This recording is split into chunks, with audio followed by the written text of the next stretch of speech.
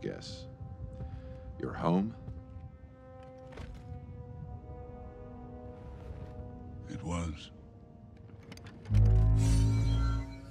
And it was beautiful.